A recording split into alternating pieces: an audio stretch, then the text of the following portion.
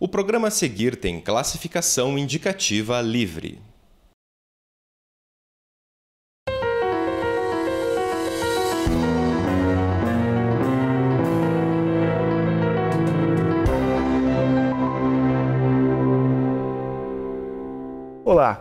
Graduada em Pedagogia e mestre e doutor em Educação pela Universidade Federal do Paraná, Andréa Bezerra Cordeiro é professora adjunta no Departamento de Planejamento e Administração Escolar do setor de Educação da UFPR.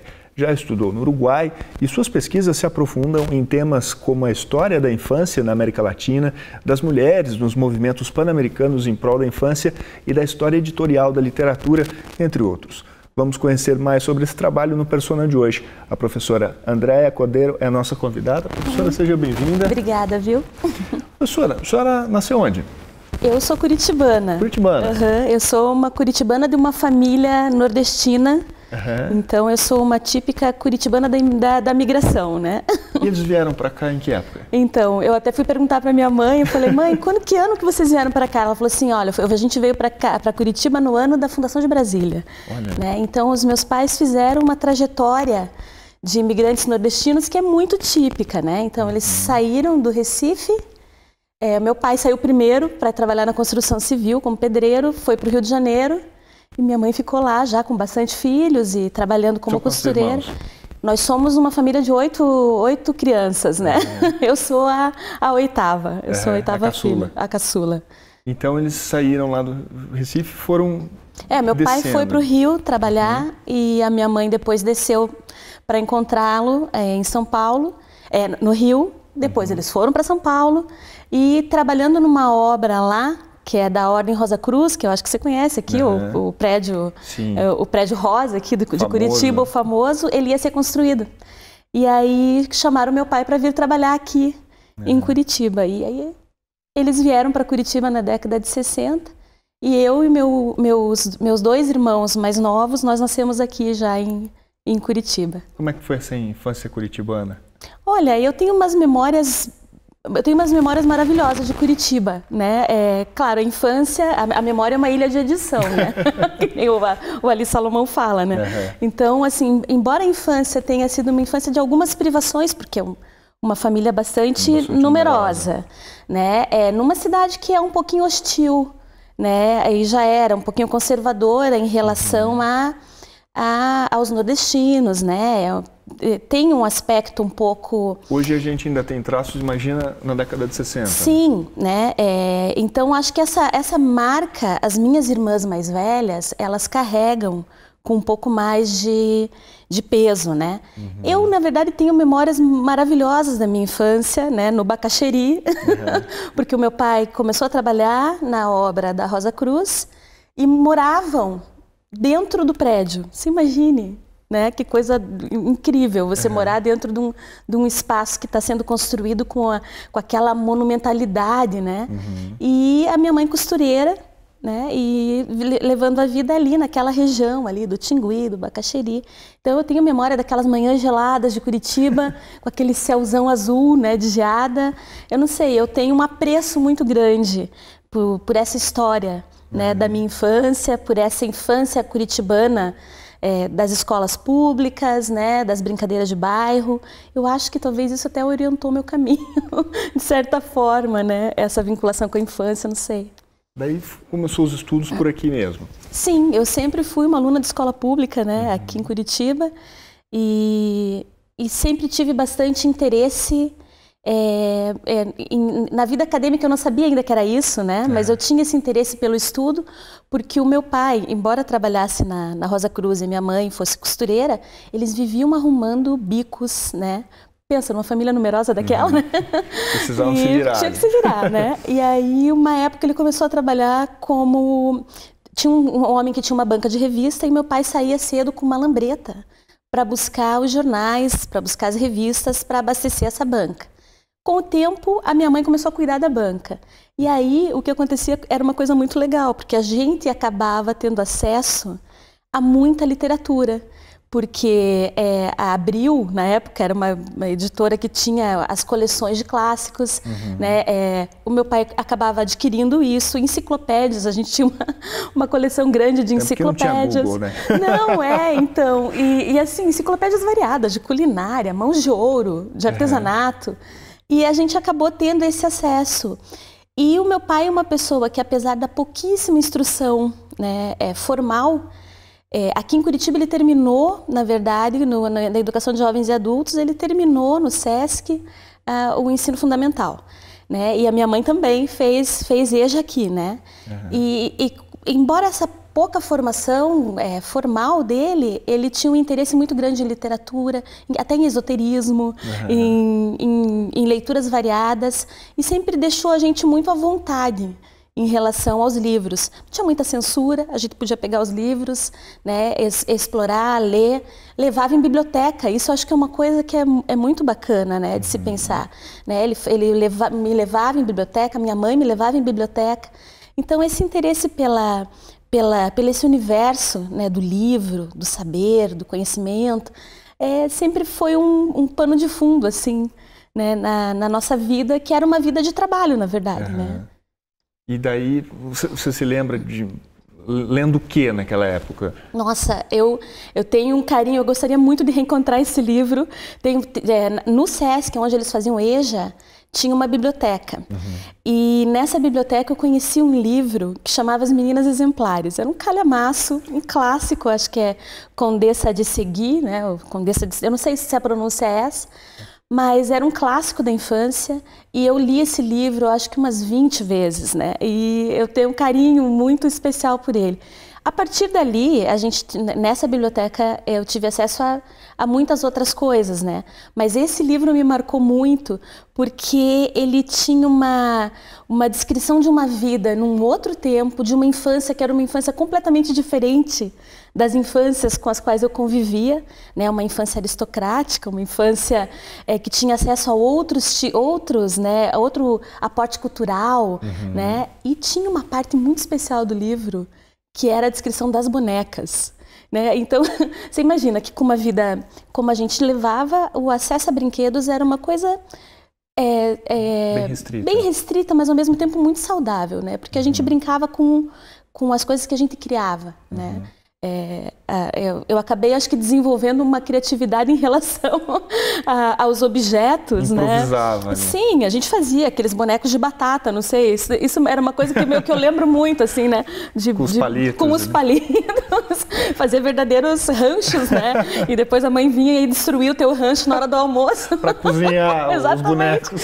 Mas fazia parte, né? Fazia parte desse movimento da, da vida, né?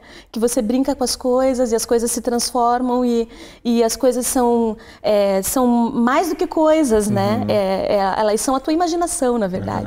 É, uma coisa mais e, lúdica. Né? É, e no livro tinha essa descrição das bonecas e eu ficava assim, meu Deus, encantada, né?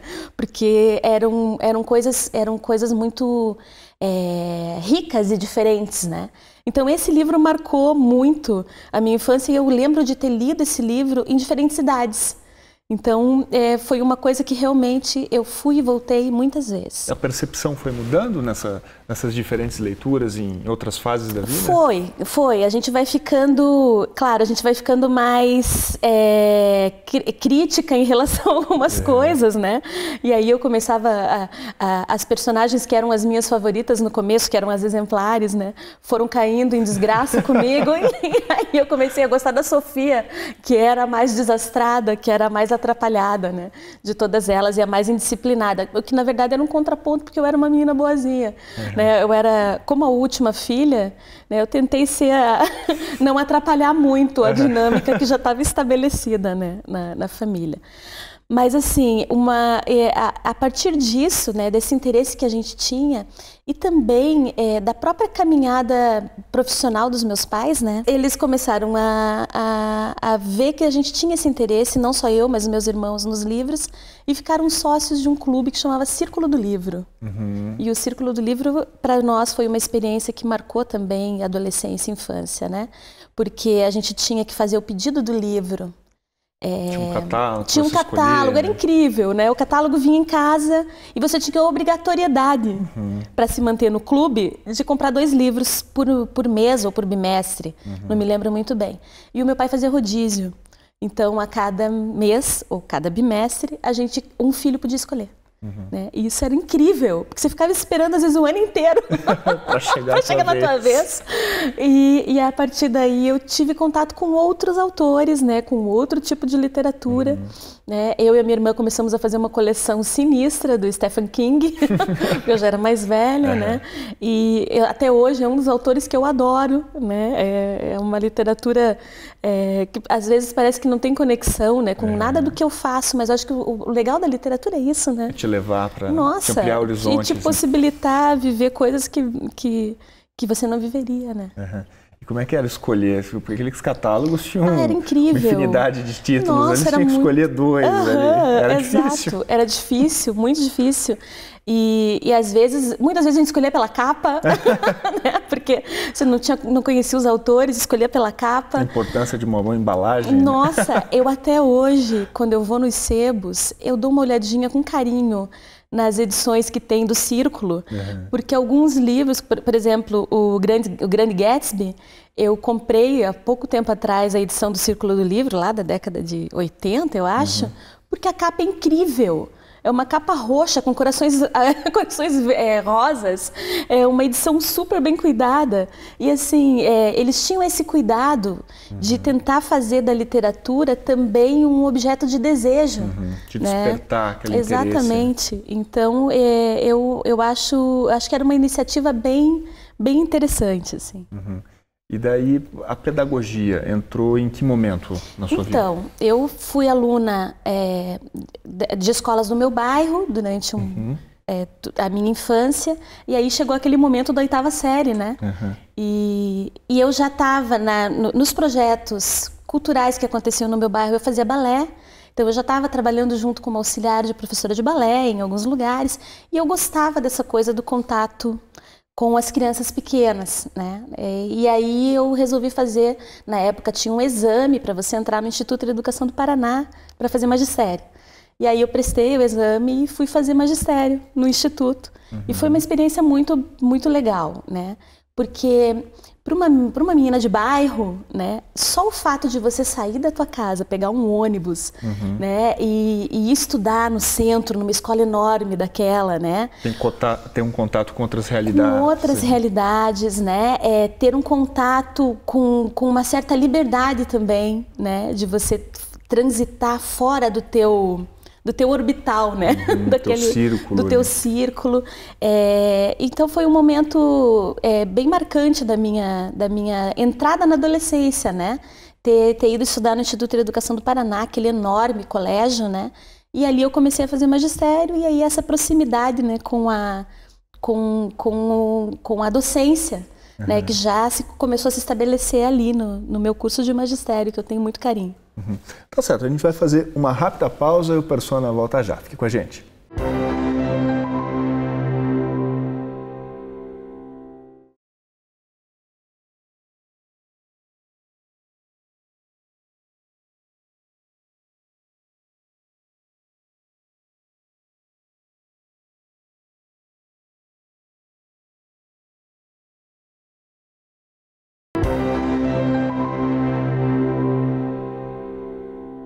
Estamos de volta. Hoje o Persona recebe a professora Andréa Cordeiro. Professora, é, então se graduou em pedagogia aqui pela UFPR? Sim. Uhum. E daí foi seguindo mestrado, doutorado, é, o caminho então, foi se aprofundando. Hein? É, a minha primeira graduação foi, eu comecei o curso de História na UFPR, daí eu interrompi o curso de História por várias questões pessoais mesmo, eu fui ter filhos e uhum. a vida urgiu.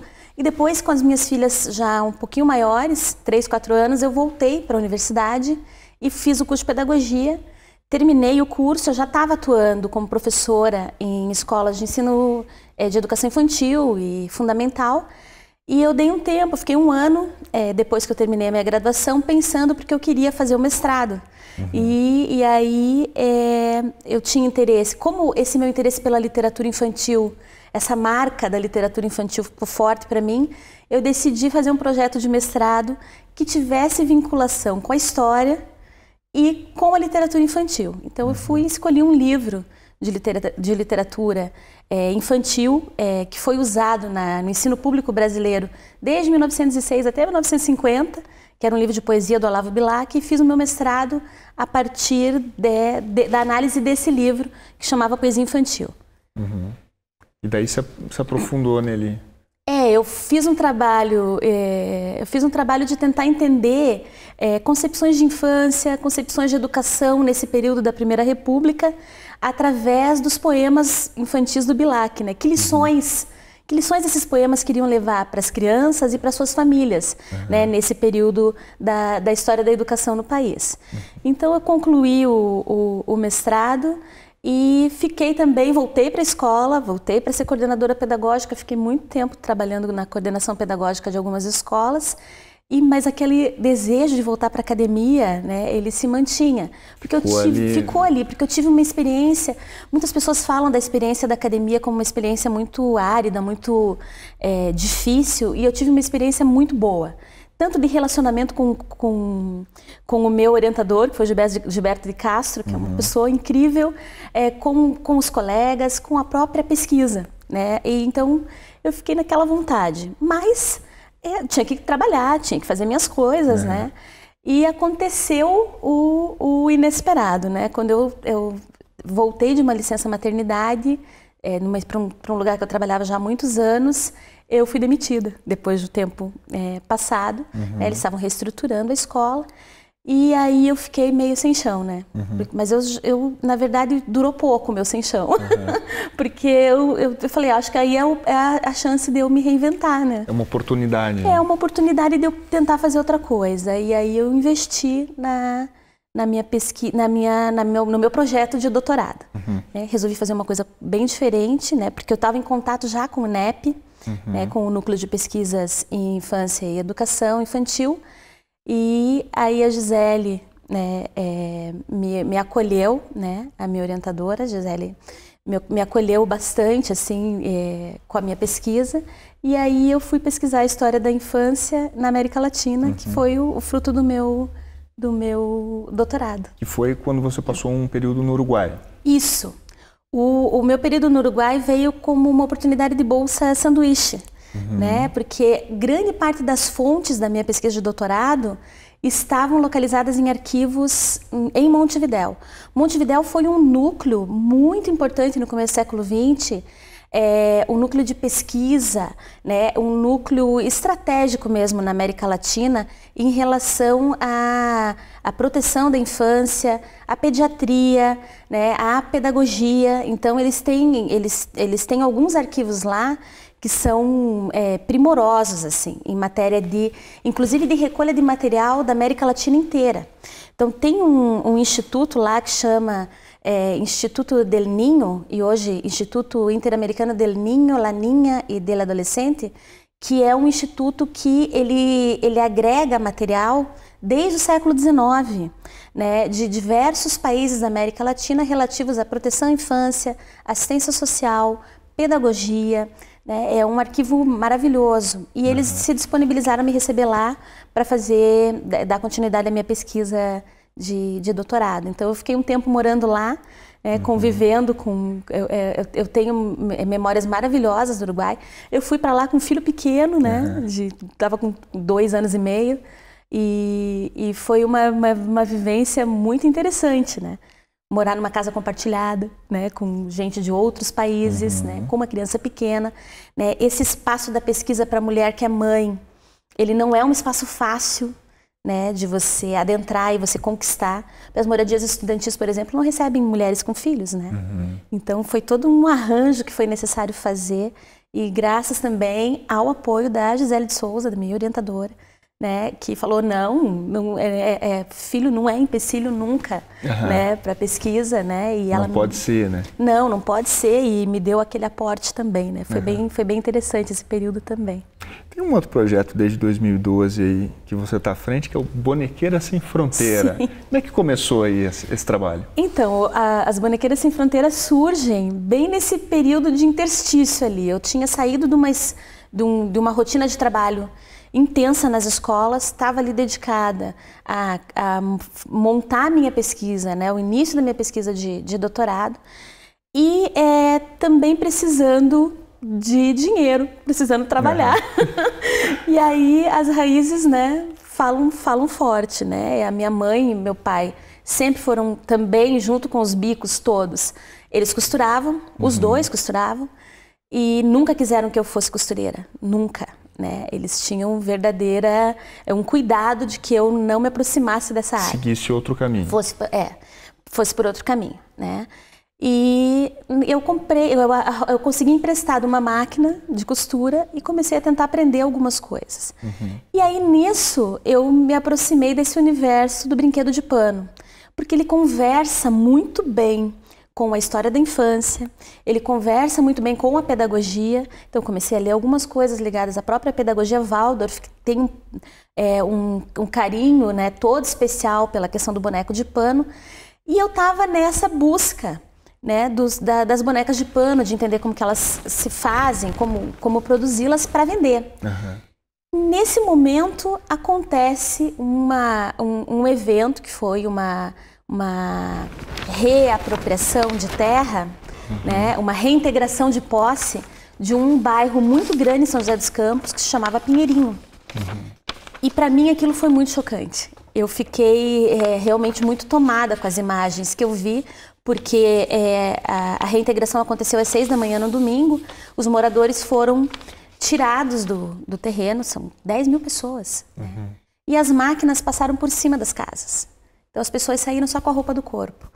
E nas imagens dos escombros a gente via muito brinquedo. Uhum. Muitas, muitos Ou seja, saíram correndo, ficou tudo para trás. Ficou tudo para trás. As pessoas trabalhavam ali, as pessoas tinham seu pequeno negócio, tinham a sua casa, tinham seus bichos, tudo ficou para trás.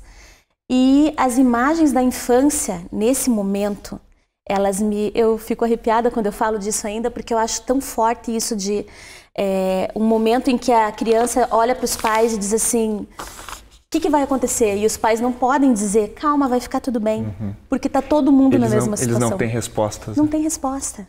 Né? E a sociedade é, se choca, mas como os eventos trágicos, eles se sucedem, né? Numa velocidade muito grande na mídia, a gente se choca e a gente se, se apazigua muito rapidamente uhum. também. Né? Se acomoda, é, já pensa em outras coisas. E aquilo ficou em mim, assim, eu fiquei pensando, gente, tem que ter um jeito de, de eu modestamente fazer alguma coisa em relação a isso. Porque isso me diz respeito, isso diz uhum. respeito a todos. A infância, ela é uma responsabilidade de todos, está no ECA. Uhum. E aí eu tinha acabado de conhecer um projeto que chama Dolly Donations, porque eu estava procurando moldes e encontrei esse projeto de uma americana chamada Sarah Hanson. E ela, quando aconteceu o terremoto no, no Haiti, ela ficou muito tomada também pela, pelas imagens das crianças. E ela começou a produzir bonecos é, para mandar para o Haiti. E aí eu fiquei pensando que talvez fosse ali um caminho, né? Eu lembrei daquela frase, né? Quando, quando a tua única ferramenta é um martelo, uhum. tudo vira prego. Uhum. e aí eu fiquei pensando, o que eu posso fazer nesse momento talvez seja costurar. E eu tinha uma rede já de amigas costureiras pela internet, eu comecei a chamar uma, chamar outra, e isso foi um, né, um, um, um fogo de palha, assim, mas né, uhum. né, não no mau sentido, porque a gente está com o projeto até hoje. Uhum. Né? Então, de seis pessoas é, que começaram o projeto, hoje nós temos mais de 500 costureiros uhum. e costureiras que estão envolvidos, né? É, ou já passaram pelo projeto das Bonequeiras Sem Fronteira. Uhum. Confeccionamos para esse, esse momento 350 bonecas uhum. que foram levadas. Né, Você eu, foi até lá? Eu fui até lá. Foi porque assim, a gente, é, quando soube que eles iam sair do último alojamento, porque foi isso, eles foram para um alojamento e foram buscando outros caminhos para suas vidas, né? Uhum. E quando eu soube, quando a gente soube que eles iam sair do último alojamento que era numa escola, é, conseguimos ajuda, peguei as coisas que tinha aqui, tínhamos recebido muitas bonecas em São Paulo, fui para São Paulo e fui para São José dos Campos levar os brinquedos, uhum. né? E aí eu senti que fazia sentido, né? uhum. né? Porque até então era uma coisa que assim eu, eu acreditava, mas eu não tinha visto isso se operacionalizar ali, né? com as crianças ali, né? E quando a gente chegou lá com os brinquedos, as crianças que já estavam no alojamento há um mês fizeram fila, né? Falaram assim: tem donativo. Uhum. Porque eles estavam vivendo essa realidade de viver de doação, né? E aí eu pensei: não, né? É outra coisa. Isso aqui não é donativo, gente. Isso aqui é presente. Uhum. Vamos fazer uma roda? E aí a gente fez uma roda. E aí eles puderam escolher não é assim, ó, esse é teu, alguém uhum. usou, né? É um brinquedo que alguém está te dando porque você está sofrendo. Não, uhum. é, esse brinquedo foi feito para você. Uma pessoa, uhum. né, lá em Fortaleza, sabe onde fica Fortaleza? E aí eu ia conversando com eles, né, dizendo, olha, essa aqui foi feita para você. E teve um momento que eu dei um gato que tinha um rabo assim, né? E eu falei assim, esse gato é para você colocar na porta do quarto. Na hora que eu falei isso, eu pensei, meu, eles não têm casa, eles não têm porta, né? E a menina pegou o gato e falou: Você tem um plástico? Eu falei: Pra que ela? Porque eu vou guardar, porque quando eu tiver o meu quarto. E com um sorriso, uhum. assim que me, me derrubou, né? Eu falei: a criança tem essa resiliência. Nos e o brinquedo, lições, né? E o brinquedo, ele tem que ter também esse papel de ser um apoio, de ser um, um alicerce, um amigo né, nesse momento. E a intenção do projeto era essa, né? Era levar para as crianças esse, esse brinquedo, que é um objeto, mas muito mais do que isso, dizer para ela, olha, a gente viu o que fizeram aqui. Uhum. Tem muita gente que está do lado de vocês. Uhum. Tem muita gente que não sabe exatamente como ajudar, mas que dedicou horas do seu dia, né, fazendo à mão algo para você. E a partir daquele encontro, a gente é, continuou recebendo bonecos. Uhum. Encerrou, a nossa ação era essa, né? Uhum. Mas a gente continuou recebendo bonecos. E aí pensamos nisso, assim, bom, enquanto a gente estiver recebendo bonecos, enquanto tiver crianças que precisam ser vistas, em situações em que às vezes a gente fecha o olho, né, esquece, né, que dentro desses desses momentos em que tem catástrofes naturais, em que tem catástrofes políticas, uhum. né, é, tem criança envolvida, né, e aí a gente precisa se responsabilizar por isso, né? uhum. né. Então foi meio nesse sentido e a gente está aqui. É, esse, no mês passado a gente contabilizou 10 mil é, e 300 bonecos entregues nesses últimos anos. Uhum. E quem quiser participar, como é que faz? Então, a gente se organiza basicamente pela internet, né? Uhum. Nós somos um grupo é, que tem poucos encontros reais, mas a gente tem uma página no Facebook que chama uhum. Bonequeira Sem Fronteira. A gente tem um grupo de trabalho no Facebook, que é onde a gente é, organiza a logística das ações, uhum. onde a gente troca as ideias sobre as crianças, né? Porque a ideia também é fazer o boneco de acordo com a comunidade que eu estou levando. Então, se eu vou numa uhum. comunidade quilombola, a gente estuda um pouco como que é o ambiente, do que, que as crianças brincam, para poder fazer os bonecos, inclusive com as características étnicas nas quais as crianças se identifiquem, né? Uhum. E então a gente tem essa página no Facebook, a gente tem um blog que chama Bonequeira Sem Fronteira. Então, através desses canais é, na internet, vocês, as pessoas que querem contribuir entram em contato, porque é legal. O legal desse projeto é isso. Você pode produzir no horário que você quiser, uhum. fazer o teu brinquedo, né, é, em casa, mandar para gente pelo correio e nós prestamos conta do brinquedo. A gente fotografa o brinquedo uhum. chegando, fotografa o brinquedo sendo entregue, uhum. né? E a tem pessoa toda a história tem ali. toda a história, né? E a, e a gente acompanha o, te, o, brinquedo, né? Do momento em que ele chega para a gente até o momento em que ele vai para sua casa, né? Que é o, o abraço de uma criança. Uhum. Tá certo. Bom, o programa vai chegando ao fim. Eu quero agradecer a presença da professora André Cordeiro. Professora, obrigado pela sua presença Eu que aqui. Agradeço. Parabéns pelo trabalho. Muito obrigada. Obrigado e obrigado também a você pela companhia. Se quiser entrar em contato com a gente, e-mail e Facebook estão aí na tela. Persona volta na próxima semana. Até lá.